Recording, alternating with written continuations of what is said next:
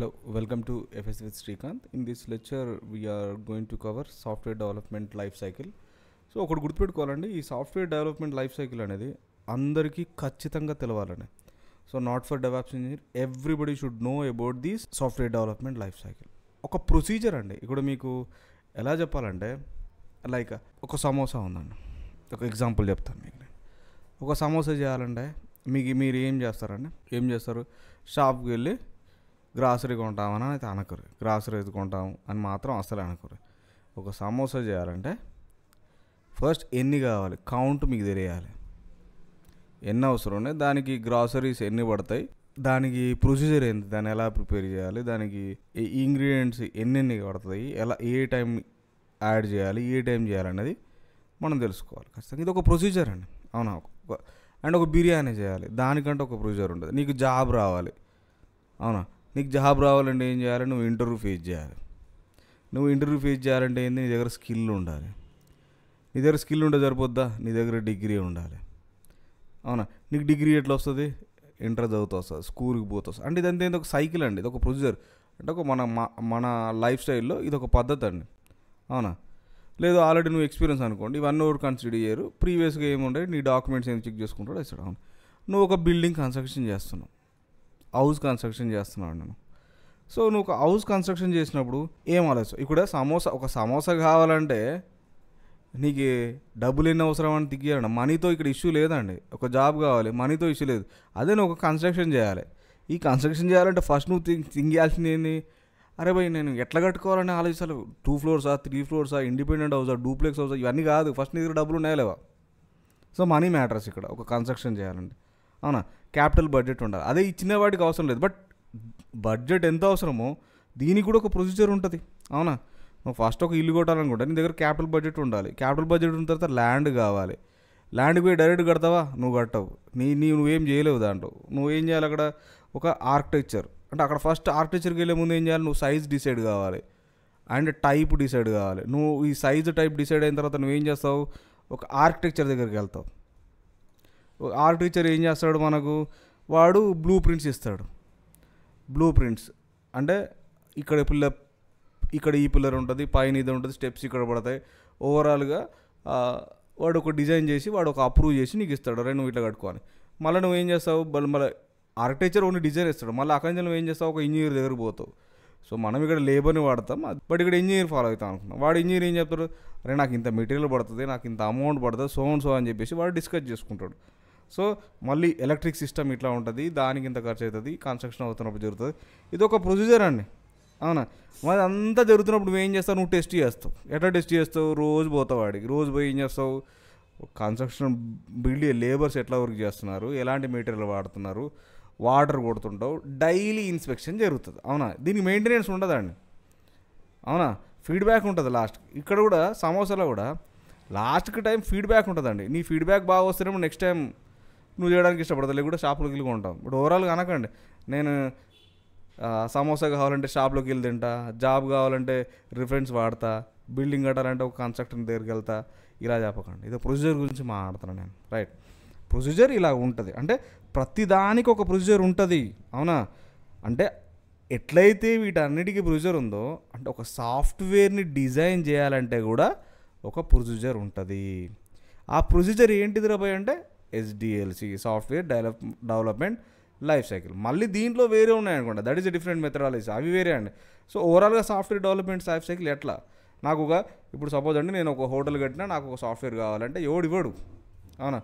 నువ్వు ఎలాగ అప్రోచ్ కావాలి? దానికి ప్లాన్ ఏంటిది? కాస్ట్ ఎంత? టీం వర్క్ ఏంటిది? ఏ టైంకి డెలివరీ ఇవ్వాలి? నీ అప్లికేషన్స్కి ఎంత ట్రాఫిక్ రావచ్చు? చాలా ఎక్స్పర్ట్స్ ఉంటాయండి. అండ్ నీ కాంపిటీటర్గా ఎవడన్నా సాఫ్ట్వేర్ వాడుతున్నాడా? ఏంది? ఇవన్నీ మనం కన్సిడర్ చేసుకోవాల్సి వస్తుంది. రైట్. అర్థమవుతుందండి. ఒక ప్రొసీజర్ అండి. సో ప్రతిదానికి ఎట్లయితే ప్రొసీజర్ ఉందో ఒక సాఫ్ట్వేర్ని బిల్డ్ చేయాలంటే కూడా ఒక ప్రొసీజర్ ఉంటుంది. ఆ ప్రొసీజర్ పేరే సాఫ్ట్వేర్ డెవలప్మెంట్ లైఫ్ సైకిల్ అండి. క్లియర్? ఇదంతా అర్థమైందండి right. What is software development life cycle? So SDLC అంటే ఏంటంటే software development life cycle. SDLC is a structured a process followed by the software development teams to design, de- develop test and deploy high quality software efficiency so దీనికంటే ఒక procedure ఉంటుందండి. ఏం చేయాలి అంటే first నువ్వు plan చేసుకోవాలి. ఈ plan అంటే ఏందో చెప్తానండి. ఈచ్ అండ్ ఎవ్రీ ఫేజ్ గురించి మాట్లాడతాను. ఆ తర్వాత ఏం చేయాలి నువ్వు? అనాలసిస్ చేయాలి. తర్వాత డిజైన్ చేయాలి. దాన్ని మళ్ళీ ఇంప్లిమెంట్ చేసుకోవాలి. ఇంప్లిమెంట్ అంటే కోడ్ రాయాలండి ఇక్కడ. ఆ తర్వాత నువ్వేం చేస్తావు? టెస్ట్ చేసుకోవాలి. టెస్ట్ చేసుకున్న తర్వాత డిప్లాయ్ చేయాలి. అండ్ లాస్ట్ వన్ మెయింటైన్ చేయాలి. అంటే ఒక ఒక్క సాఫ్ట్వేర్కి ఇదంతా ప్రొసీజర్ అండి. వన్ బై వన్ అండి. డైరెక్ట్గా అంటే నువ్వేం అప్లికేషన్ డిప్లాయ్ చేయాలండి చాలా టైం పడుతుంది. సో దీన్ని ఒక్కొక్క దాన్ని మనం ఫాలో అవుతామండి. సో ఫస్ట్ ప్లాన్ తీసుకున్నప్పుడు నేను ఇక్కడ ఎలా ఎక్స్ప్లెయిన్ చేస్తానంటే ఒక ఈ కామర్స్ అప్లికేషన్ నేను క్రియేట్ చేద్దాం అనుకుంటున్నాను. ఒక ఈ కామర్స్ అప్లికేషన్ని బేస్ చేసుకొని నేను ఇప్పుడు ఎక్స్ప్లెయిన్ చేస్తానండి. ఫస్ట్ అండి ప్లానింగ్ ఫేజ్ అండి. దిస్ అ ఫస్ట్ ఫేజ్ ఈ ఫేజ్లో ప్రాజెక్ట్ స్కోప్ ప్రాజెక్ట్ యొక్క స్కోప్ ఏంటిది ఆబ్జెక్టివ్స్ ఏమున్నాయి అండ్ రోడ్ మ్యాప్ ఎట్లా ఉండాలి తయారు చేసుకోవడం అంటే ఏ ఫీచర్స్ ఎట్లా తయారు చేసుకోవాలి దీని తర్వాత దేని అనేది మనం క్లియర్గా చేస్తామండి. అండ్ ఇక్కడ మనం ఏం చేస్తాం? రిక్వైర్మెంట్స్ ఏమున్నాయి? ఫీజబిలిటీ ఏంది? పైసలు ఎన్ని పడతాయి? ఇవన్నీ రీసోర్స్ని ఎక్కడ ఎత్తుక్కోవాలి రీసోర్స్ అండ్ ప్రాజెక్ట్ ఎప్పుడు డెలివరీ చేయాలి? ప్రాజెక్ట్ టైం లైన్ ఏంటి? ఇక్కడ ఏమంటున్నాను ప్రాజెక్ట్ స్కోప్ ఇవన్నీ ఎవరు చెప్తారండి మనకు? సో ప్రాజెక్ట్ స్కోప్ ఏంది? ప్రాజెక్ట్ ఆబ్జెక్టివ్స్ రోడ్ మ్యాప్స్ ఇవన్నీ ఎవరు చెప్తారు? ఇక్కడ ఏం జరుగుతుందో ఒక ఈ కామర్స్ కంపేర్ చేసుకొని చెప్తాను. మీకు ఎగ్జాంపుల్ ఇస్తాను. ఒక్క డెవలప్మెంట్ టీం ఏం చేస్తుందంటే స్టేక్ హోల్డర్ని కలుస్తుంది. స్టేక్ హోల్డర్ స్టేక్ హోల్డర్ ఓ- ఎవరండి? వాడికి ప్రాజెక్ట్ సంబంధించిన ఓనర్ అండి. అవునా? ఇక్కడ మనం క్లయింట్కి ఏం కావాలో క్లయింట్ రిక్వైర్మెంట్స్ ఏంటో క్లయింట్ బడ్జెట్ ఎంత ఖర్చు చేస్తాడు ప్రాజెక్ట్ని ఎప్పటివరకు ఆయనకి ఇవ్వాలి డెవలప్మెంట్ టీం మార్కెట్లో ఆల్రెడీ వాడి వాళ్ళు స్టాక్ హోల్డర్ చెప్పిన ఆల్రెడీ మార్కెట్లో ఇంకా సేమ్ ప్రోడక్ట్ ఉంటే దానిపైన రీసెర్చ్ చేయాలి. ఎండ్ యూజర్స్ ఒకవేళ సేమ్ ప్రోడక్ట్ అనేది సేమ్ ఉంటే ఎండ్ యూజర్ ఎక్స్పీరియన్స్ని అనాలిసిస్ చేయాలి. న్యూ ఫీచర్స్ ఏమన్నా ఎక్స్పెక్ట్ చేయొచ్చో మనం ఇవన్నీ కనుక్కోవాలి. అవునా? సో వీటన్నిటిని మనం ఈ కామర్స్ పాయింట్ ఆఫ్ వ్యూలో మనం పెడితే ఇప్పుడు అర్థమైందండి. ఈ కామర్స్ పాయింట్ ఆఫ్ వ్యూలో మనం థింక్ చేస్తామండి. సో వెరీ సింపుల్ క్లయింట్తోనే మనం డిస్కస్ చేసుకుంటాం.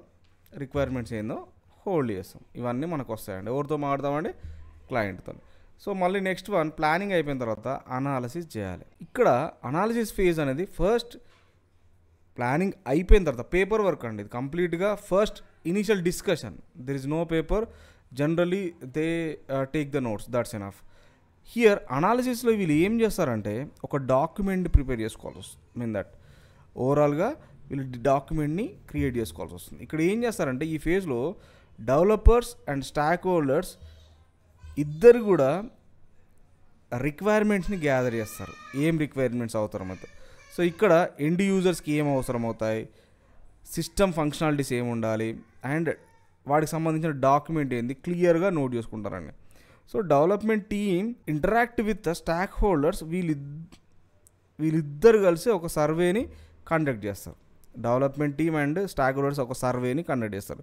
ఈ సర్వేలు కండక్ట్ చేసుకొని వాళ్ళ రిక్వైర్మెంట్ని గ్యాదర్ చేస్తారు. నెక్స్ట్ డెవలప్మెంట్ టీమ్ ఏం చేస్తుంది? ఒక డాక్యుమెంట్ క్రియేట్ చేస్తుంది ఇక్కడ. డాక్యుమెంట్ అనేది క్రియేట్ చేస్తుంది. ఈ డాక్యుమెంట్ ఏంటిది? సో ఎవడైతే స్టాక్ హోల్డర్ ఉన్నాడో వాడికి చెప్తారండి క్లియర్గా ఏం చెప్తారు? వాడి రిక్వైర్మెంట్స్ అన్ని మనకు ఆల్రెడీ ఇక్కడ చెప్పాడు వాడు. వాడి రిక్వైర్మెంట్స్ ఏంది? ఎవ్రీథింగ్ ఇక్కడ ఇచ్చిందండి. వీడికి ఏం చేస్తాం మనం? ఈ కామర్స్ ప్రాజెక్ట్ అంటున్నాం. ఈ కామర్స్ ప్రా ప్రాజెక్ట్లో ప్రాజెక్ట్ యొక్క క్యాట్లాగ్ అండి. Project catalogue functionalities payment process order management క్లియర్గా ఒక డాక్యుమెంట్ అనేది క్రియేట్ చేస్తారు. ఈ డాక్యుమెంట్ని development team and stakeholder team ఇద్దరి దగ్గర ఉంటుందండి. వీళ్ళిద్దరి దగ్గర ఉంటుందండి. So clear idea development team మేము ఏం చేస్తామో మీకు ఏం అవసరమో క్లియర్గా రాసుకుని దానికంటే ఒక టైం లైన్ని ఫిక్స్ చేసుకుంటారండి ఒక డాక్యుమెంట్ ఇది స్టాక్ హోల్డర్స్ ఇన్వాల్వ్ అవుతారండి. వాళ్ళ దగ్గర అప్రూవ్ చేసుకుంటారు. లైక్ స్కెచెస్ చూపిస్తారు. లైక్ డిజైన్ చేస్తారండి. క్యాన్వాస్లో డిజైన్ చేసుకొని వాళ్ళకు పీపీటీ ప్రజెంటేషన్ చేయడం కానీ ఇలాంటివన్నీ అనలైజ్ అనాలసిస్ ఫేజ్లో జరుగుతుంది. Next one third one design అండి. ఇది థర్డ్ ఫేజ్ అండి. ఇప్పుడు ఇక్కడ స్టాక్ హోల్డర్తో అవసరం అయిపోయిందండి మనకి ఇక్కడ. ఆల్రెడీ మన దగ్గర ఒక డాక్యుమెంట్ ఉందండి. ఇప్పుడు ఏంది డెవలప్మెంట్ టీం ప్రాజెక్ట్ మేనేజర్ కావచ్చు కొంతమంది దానిపైన వర్క్ చేస్తారు. ఇప్పుడు ఏంది డెవలపర్స్ మొత్తానికి what they want to develop వాళ్ళకి క్లియర్గా చెప్పాల్సి వస్తుందండి. దానికోసం వీళ్ళు బ్లూ ప్రింట్స్ని క్రియేట్ చేస్తారు.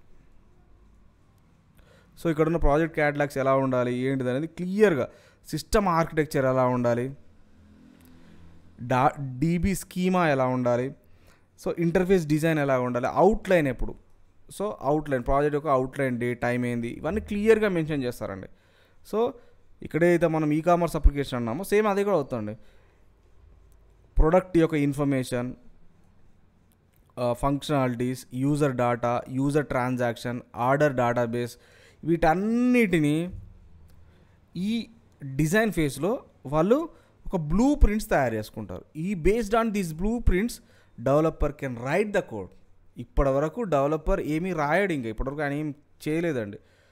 ప్లానింగ్ అనాలసిస్ ప్లానింగ్లో రిక్వైర్మెంట్ గ్యాదర్ చేస్తారు స్టాక్ రోడ్తో డిస్కస్ చేస్తారు. అనాలసిస్ ఫేజ్లో డిస్కస్ చేసిన వాటిని ఒక డాక్యుమెంట్ రూపంలో స్టేక్ హోల్డర్ దగ్గర అప్రూవల్ తీసుకుంటారు. ఆ తర్వాత ఈ డిజైన్ ఫేజ్లోకి వచ్చేసరికి ఒక డాక్యుమెంట్స్ బ్లూ ప్రింట్స్ అనేది స్కెచెస్ వేసుకొని సిస్టమ్ ఆర్కిటెక్చర్ ఎలా ఉండాలి డీబీ ఎలా ఉండాలి అవుట్లైన్ ఏంటి అండ్ క్లియర్ కట్గా ఒకటి ప్రొసీజర్ అనేది వాళ్ళు మెయింటైన్ చేయాలి బ్లూ ప్రింట్స్ అనేది మెయింటైన్ చేస్తారు. ఓవరాల్గా ఇంటర్ఫేస్ ఎలా ఉంటుంది సాఫ్ట్వేర్ యొక్క ఇంటర్ఫేస్ ఎలా ఉండాలి క్లియర్గా వాళ్ళు డిజైన్ చేసుకుంటారండి. ఇక్కడ నెక్స్ట్ ఫేజ్ వచ్చేసరికి ఫోర్త్ వన్ ఇంప్లిమెంటేషన్ ఇంప్లిమెంటేషన్ అంటే ఇక్కడ యాక్చువల్గా కోడ్ రాయడం ఇక్కడ స్టార్ట్ చేస్తుంది అంటే ప్రాజెక్ట్ అనేది ఏ లాంగ్వేజ్లో ఉంది దాని ప్రకారం రాస్తాడు అంటే ఇప్పటివరకు కోడ్ రాయడం స్టార్ట్ చేయలేదు ఇక్కడ. జస్ట్ ప్లాన్ ఏంటిది? కోడ్ ఎట్లా తయారు చేయాలి? డెవలప్ ఈ ఫేజ్లో డెవలపర్ కోడ్ని రాస్తారు. డెవలపర్ డిజైన్ ఫేజ్లో ఉన్న డాక్యుమెంట్ని కన్సిడర్ చేసుకొని బ్లూ ప్రింట్ని ఫాలో అవుతూ ఈ కోడ్ని రాస్తారండి. ఎలా పడితే అలా రాయడానికి ఉండదండి. According to specifications they can write next one testing tester code మొత్తాన్ని టెస్ట్ చేసి ఇక్కడ ఏమైందంటే డెవలపర్ మొత్తం రాస్తారండి. దిస్ చాలా క్రూషియల్ ఫేజ్ అండి ఇది. చాలా క్రూషియల్ ఫేజ్ టెస్టర్ కోడ్ మొత్తాన్ని టెస్ట్ చేసి రిక్వైర్మెంట్స్ అన్నీ మీట్ అవుతున్నాయా? ఫంక్షనాలిటీస్ అన్నీ వర్క్ అవుతున్నాయా? ఎర్రర్స్ బగ్స్ ఏమైనా ఉన్నాయా? డెవలపర్ ఫీడ్బ్యాక్కి ఇస్తాడండి. డెవలపర్ ఫీడ్బ్యాక్ ఇస్తాడండి. అవునా? ఇక టెస్టర్ మెయిన్గా ఏం చేస్తాడు? కొన్ని టెస్ట్లు చేస్తారండి. Unit test integration test system test user acceptance test అనేది డిఫరెంట్గా చేస్తారండి. ఆ తర్వాత డిప్లాయ్మెంట్ వస్తుంది. సో ఇది సిక్స్త్ ఫేజ్ అండి. ఈ సిక్స్త్ ఫేజ్లో సాఫ్ట్వేర్ మొత్తం రెడీ అవుతుంది. టెస్టర్ అప్లోడ్ చేస్తారండి. ఇది ప్రొడక్షన్ ఎన్విరాన్మెంట్కి డిప్లాయ్ చేయాలి. ఎప్పుడైతే టెస్టర్ అప్లోడ్ చేసాడో అప్పుడు ఆ కోడ్ని ప్రొడక్షన్ ఎన్విరాన్మెంట్లో డిప్లాయ్ చేస్తాం. ఎప్పుడైతే డిప్లాయ్ చేస్తామో అప్పటి నుండి మన సాఫ్ట్వేర్ ఎండ్ యూజర్ ఇన్స్టాల్ చేస్తాం. అంటే ప్లే స్టోర్లో పెట్టామనుకుందాం పెట్టామనుకుందామండి మొబైల్ ఒక ప్లే స్టోర్లో. ఇచ్చాం. అప్పుడు ఎండ్ యూజర్కి అవకాశం ఉంటుంది. వాడి మిషన్లో వాడి సిస్టంలో వాడు ఇన్స్టాల్ చేసుకుంటాడు. లాస్ట్ ఫేజ్ వచ్చేసరికి మెయింటెనెన్స్. ఇది లాస్ట్ ఫేజ్ అండి. ఆఫ్టర్ రిలీజింగ్ అ సాఫ్ట్వేర్ ఇక్కడ రిలీజ్ అయితే రిలీజ్ అయిందో సాఫ్ట్వేర్ అనేది ఎండ్ యూజర్ అందుబాటులో వచ్చిన తర్వాత మెయింటెనెన్స్ అండ్ సపోర్ట్ చాలా అవసరం అవుతుందండి దీనికోసం ఏం చేస్తామంటే అప్లికేషన్ని మానిటర్ చేస్తాం మనం. అప్లికేషన్ని మానిటర్ చేస్తాం. సో ఏమైనా అప్డేషన్స్ అవసరమా? మాడిఫికేషన్స్ అవసరమా? అనేది క్లియర్గా మనకు తెలుస్తుంది. ఏమైనా బగ్స్ ఫిక్స్ చేయాలి ఫిక్స్ చేయాలా యూజర్ ఫీడ్బ్యాక్ ఎలా ఉంటుంది? న్యూ ఫీచర్స్ని ఎంతవరకు యాడ్ చేయొచ్చు? ఇవన్నీ తెలుస్తాయి పర్ఫార్మెన్స్ ఆప్టిమైజేషన్ ఏమైనా అవసరం ఉందా? సెక్యూరిటీ అప్డేట్స్ ఏమైనా ఉన్నాయా? ఏదన్నా ఫీచర్ని కొత్తగా యాడ్ చేయాలన్నా మనకు మెయింటైన్ ఫీజ్ నుంచేలే తెలుసు. కరెంట్ మార్కెట్లో waterfall method and agile methodology follow అవుతారు. But we're going to focus on agile methodology but we need to learn about waterfall methodology also right అండి. ఇక్కడ ఈ ఎంటైర్ వన్ థియరిటికల్ అండి కంప్లీట్గా ఎస్డిఎల్సి అనేది six phases right implement దగ్గర developer code రాస్తారు tester test చేస్తాడు. ఆపరేషన్ టీమ్ ఇక్కడ ఆపరేషన్ టీం ఇక్కడ ఉంటుందండి. ఇంప్లిమెంట్ చేసేది డెవలపర్ ఇక్కడ ఉంటాడండి. మళ్ళీ ఇక్కడ ఇది చేసే వాళ్ళు ఆపరేషన్ టీం వేరే వాళ్ళు సపరేట్ టీం చేయాల్సి వస్తుంది. డెవలప్మెంట్ టీం ఇన్వాల్వ్ అవుతుంది మిగతా టీమ్స్ ఇన్వాల్వ్ అవుతుంది. అందరు ఇన్వాల్వ్ అవుతారండి. ఇక్కడ రాసిన కోడ్ ఇక్కడ పోతుందండి. Right thank you so much have a nice day bye